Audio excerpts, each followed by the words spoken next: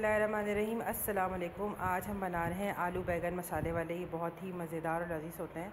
आइए देखते हैं इसके लिए हमें किन किन चीज़ों की ज़रूरत है। यहाँ पे मैंने दो बड़े आलू ले लिए और इनको मैंने बड़े साइज़ में काटा है। बहुत छोटा नहीं किया और यहाँ पर दो ही बड़े बैगन लिए इसके साथ लिए मैंने एक बड़ी प्याज और एक बड़ा टमाटर मैंने काटा है। चार पाँच हरी मिर्चें हैं। मसालों में हमें चाहिए कलूंजी। ये मैंने आधा चाय का चम्मच कलूंजी लिया है। आधा चाय का चम्मच भर के धनिया पाउडर लिया है। साबित, सॉरी, साबित धनिया लिया है मैंने यहाँ पे।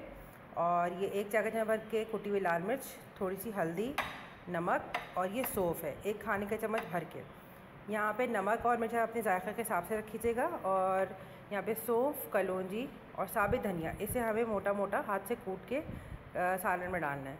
और थोड़ा सा ये अदरक लहसुन है और ये पाव कप तेल है। पतीला गर्म हो गया हम इसमें तेल डालेंगे। तेल गर्म हो जाए, फिर इसमें प्याज डालेंगे।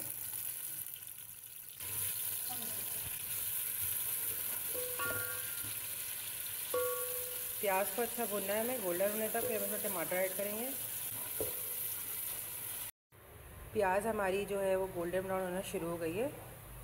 अब हम इसमें अदरक लहसुन ऐड करेंगे।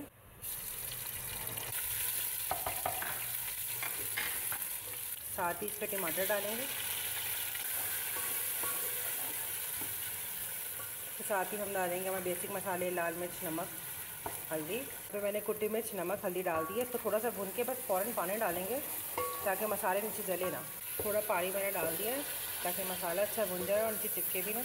ये मसाला हमारा जब अच्छा पक जाएगा, टमाटर गल जाएँगे, नरम हो जाएँगे, फिर हम इसमें आलू और फिर बाद में बैगन ऐड करेंगे। इसको हल्की आँच पकने दें। मसाला हमारा अच्छा भुन गया, अब हम इसमें आलू ऐड करेंगे। आलू हमने डाल दिया, अब इसे हल्की आँच से भून है। बस आलू डालेंगे, थोड़ी देर के बैगन ऐड कर देंगे हम। आलू अच्छे हमारे हो गए हमने बैगन ऐड कर दिए, फिर हम हल्की आँच से पकाएँगे।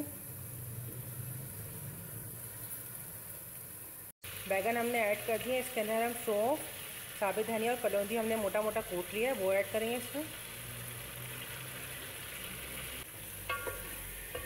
इसमें हम थोड़ा सा पानी डालेंगे, ताकि मसाला नीचे चिपके ना। आधा कप पानी ऐड करेंगे। इसमें हमने आधा कप पानी डाल दिया है। अब हम इसको 20 मिनट के लिए हल्की आँच पे छोड़ देंगे ताकि आलू और बैगन अच्छी तरीके से गल जाएँ और फिर हम आखिर इसमें हरी मिर्च डालेंगे।